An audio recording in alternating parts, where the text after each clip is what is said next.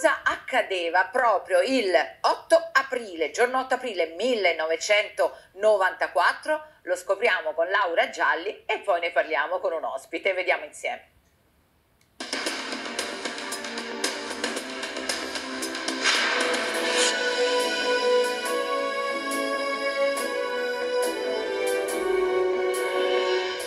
L'8 aprile 1994 quando il giudizio universale dopo secoli riappare come lo aveva dipinto Michelangelo, suscitando stupore e meraviglia, come era già accaduto per la volta.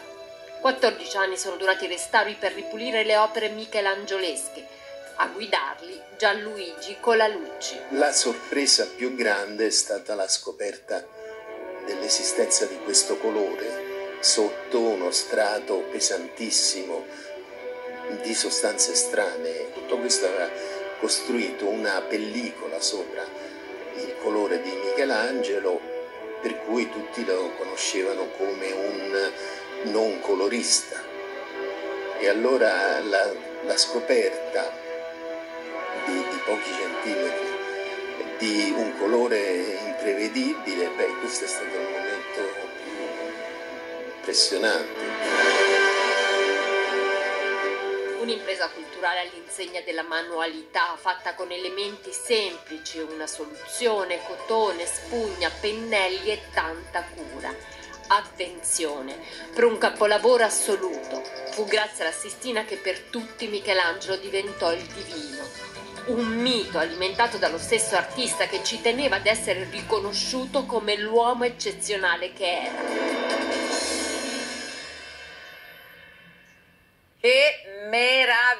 Meraviglia, questa è veramente la meraviglia nel mondo. Quindi lo avete sentito da Laura Gialli, l'8 aprile 1994 apre giudizio universale della Cappella Sistina. Io do il benvenuto ad Antonietta Bandelloni, art blogger, scrittrice. Buongiorno, l'importanza no, del restauro della Cappella Sistina fondamentale ed emozionante Ora, parlare dopo Gianluigi con la luce è sempre... Non sentiamo. Non sentiamo. Come mai? Perché non riusciamo a sentire la nostra Antonietta Bandelloni. Allora, intanto dicevamo l'emozione, no? Perché quando appunto apre il giudizio universale che poi adesso è meta, meta importante, da, che arrivano da tutto il mondo, da tutto il mondo. E effettivamente io ci sono andata eh, qualche mese fa e ho scoperto che hanno tirato fuori questi colori meravigliosi che prima erano un pochino più soffusi, quindi questo azzurro stupendo, questo rosso purpureo, meraviglioso. Torniamo dalla nostra Antonietta Bandelloni. Antonietta, stavamo dicendo... Allora, ebbe una valenza fondamentale per tanti aspetti. Uh, prima, per prima cosa si riscoprirono questi colori brillanti, quasi uh, somiglianti al tondo doni degli Uffizi, al di sotto di questa patina causata dal nero fumo dei bracieri, dalle candele, ma anche dalle colle animali stese durante i precedenti restauri. E queste colle avevano, stavano provocando dei continui micro, micro strappi del colore, creando un terreno di coltura ideale per la microflora fungina. E poi fu il primo restauro mediatico, continuamente ripreso dalla Nippon Television che pagò il restauro. Pensate che girarono 7000 metri di pellicola, tutt'oggi custoditi nei musei vaticani. Senta, eh, Antonietta Bandelloni, abbiamo detto art blogger, scrittrice, ma anche eh, National Geographic le ha chiesto un articolo proprio per quanto riguarda Michelangelo, perché è un personaggio sempre sotto lo studio e la lente di ingrandimento di tutti, un grande personaggio.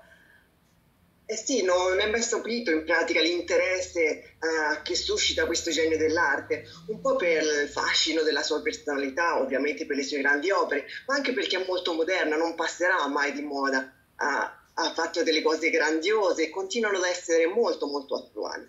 Ecco il, ecco il, genio di Michelangelo, stavamo dicendo, eh, Bandelloni ha cercato, celebrato, diciamo, anche nei suoi luoghi, no? Quindi comunque è un po' ovunque. Esattamente, perché viene cercato non solo nelle grandi cattedrali, pensiamo a San Pietro o in altri posti dove sono le sue, le sue opere, ma anche laddove ha cercato in marmi per realizzare le sue sculture. Soprattutto nella zona di Carrara si è attivato un turismo in tal senso, portando le persone alla scoperta dei luoghi uh, dove Michelangelo ha estratto in marmi, alle cave del Polvaccio, uh, piuttosto che a Fanti Scritte, oppure nella zona di Seravezza dove ha uh, un mandato da Papa Leone X per cercare i marmi, una vicenda molto complessa, ma anche lì si sta sviluppando uh, un po' il turismo alla ricerca dei luoghi estrattivi di Michelangelo. Hai capito? Allora, volevo andare prima di salutarla ovviamente con Antonella, Antonietta Bandelloni, volevo ricordare anche la mostra al British, quindi ci sarà una importante mostra una mostra incentrata sugli ultimi 30 anni di vita di Michelangelo, eh, dove verranno esposti soprattutto i disegni delle ultime crocifissioni, ce ne sono diversi, eh, verrà fatta in concomitanza dei 460 anni de- della morte di Michelangelo che ricorrono quest'anno nel, mille, nel 1574 mentre il prossimo anno saranno i 550 anni dalla nascita di Michelangelo. E Mi permetto di dire sì, certo, prego, prego quest'anno sono dieci anni della mia pagina, quindi è un anniversario anche per me importante. Allora, diciamo intanto augurissimi e congratulazioni perché ha scelto un personaggio famoso, l'abbiamo detto, nel mondo e rivedere queste immagini, Antonietta sarà d'accordissimo con me, della Cappella Sistina del Giudizio Universale è sempre una grande, grandissima emozione, è giusto? Eh, immagino certo. per lei lo sia. Certo, e poi vederlo il, il restauro uh, di Con la luce è sempre qualcosa di emozionante, soprattutto per me che Con la luce è stato un mito, anzi è stato da poco l'anniversario della morte.